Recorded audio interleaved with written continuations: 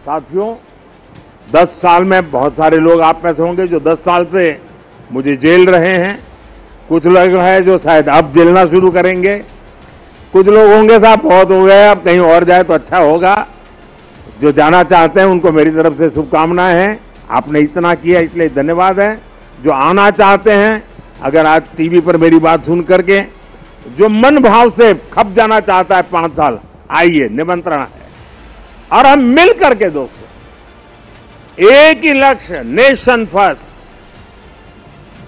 एक ही इरादा 2047 विकसित भारत। और मैंने पब्लिकली कहा है, मेरा पल पल देश के नाम है।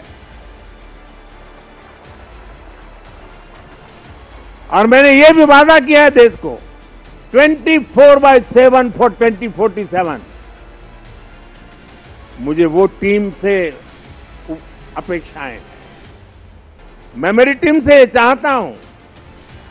और उसमें भी मैंने मिला हुआ काम समय से पूरा कर दिया। मुझे मिला हुआ काम गलती के बिना कर दिया। मैं समझता हूँ अच्छी चीज़ है, लेकिन परिपूर्णता नहीं है। मैंने उसमें वैल्यू एडिशन क्या किया? मैंने पूरा किया, लेकिन ज़्यादा अच्छे से पूरा किया। मैंने पूरा किया, लेकिन आगे अब किसी के सर पे बोझ नहीं रहेगा, इतना मैंने करके रखा है। अगर ये अगर हमारा भाव है, हर चीज़ में वैल्यू एडिशन हर चीज़ में क्वालिटी अपग्रेडेशन तो मुझे पक्का विश्वास है दोस्तों कि हम पाँच साल के भीतर भीतर जिस सपनों को और संकल्प को लेकर के चले हैं उसको हम परिपूर्ण कर सकते हैं। दस साल का मेरा अनुभव है, जो तय किया, उसको हम करके रहे हैं। तय भले मोदी ने किया, लेकिन करने वाले आप हैं। करके रहे हैं, हम सब मिलके करके रहे हैं।